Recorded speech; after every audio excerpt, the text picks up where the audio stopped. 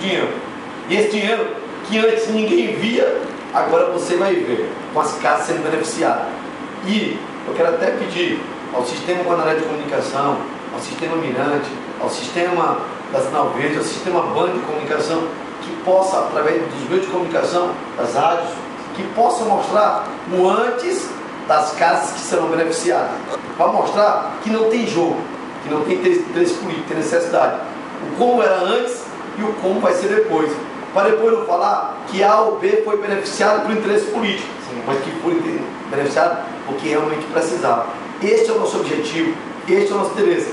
Levar todos aqueles que precisam uma condição de uma moradia digna. Nós vamos conseguir.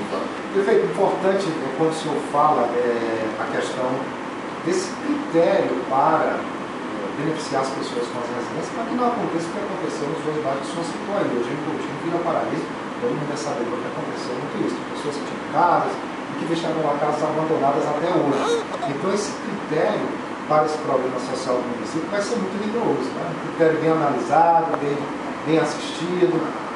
Sim, sim, tem que ser rigoroso. Ou a gente vai ser rigoroso, ou seria beneficiado pessoas que já teriam uma casa, Sim.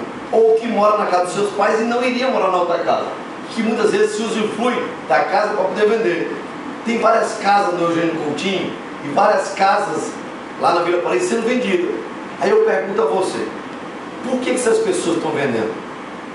Será se elas não tivessem casa alguma, elas iriam vender? Não. Iriam para estar dentro, iriam estar morando dentro da casa. Como já tem uma outra moradia, elas vendem as casas que não precisavam. Então, assim, ó, no primeiro momento, eu não tenho como julgar, a secretaria não tem como julgar quem precisa e quem não precisa. Ela tem que verificar, fazer esses pré-requisitos e verificar em loco. Então, o primeiro pré-requisito é ter essa moradia, que é a casa de palha tá. Ela vai verificar. Existe a casa? Existe. A pessoa mora lá mais dois anos? Mora. Se a pessoa mora, então é que ela precisa. Então, eu tenho certeza que se eu construir uma casa lá, a pessoa vai morar.